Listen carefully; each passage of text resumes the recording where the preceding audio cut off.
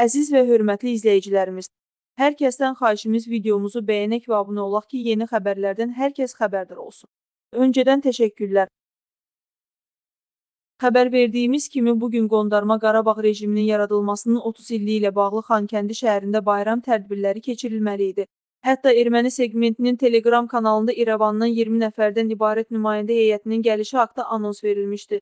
Bu gün isə Xankəndidən qondarma rejimdə heç bir bayram tədbiri olmayacağı haqda xəbər yayıldı.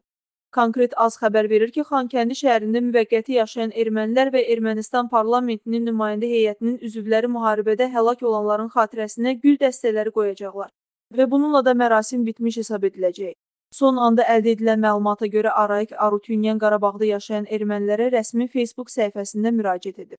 Bizim tarixi məsuliyyətimiz var. Burada yaşamaq və yaratmaq. Bu yolda uğurlarımız və itkilərimiz oldu.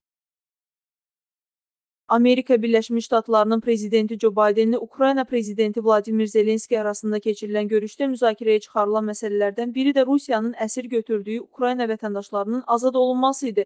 Zelenskinin Bidenə təqdim etdiyi siyahıda 450 Ukrayna vətəndaşının mövcud olduğu bildirilir.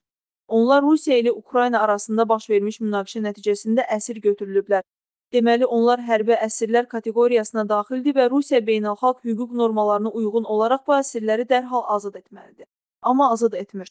Mövzu ilə bağlı konkret azı danışan politoloq Əlimusa İbrahimov bildirib ki, əvəzində Rusiya Xarici İşlər Naziri Sergey Lavrov Ermənistanlı həmkarı ilə görüşdə biz Azərbaycana 50-60 nəfər erməni vətəndaşını azad etməyə çağırırıq kimi fikir səsləndirir. Lavrovun qeyd etdiyi bu erməni vətəndaşları müharibə bitdikdən sonra Azərbaycan ərazisində terror hərəkətləri törətməkdə günahkar bilinərək ordumuz tərəfindən saxlanılıb və hüquq mühafizə orqanları tərəfindən cinayət məsuliyyətinə cəlb olunub.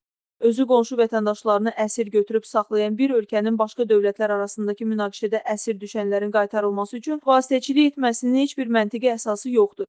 Lavrov Ukrayna vətəndaşlarını azad etdikdən sonra Ermənistan terrorçularının taliyi üçün narahat qalsaydı, o zaman daha məntiqli olardı. Burada deyirlər, öz gözündə tiri görməyən başqasında çöp axtarır.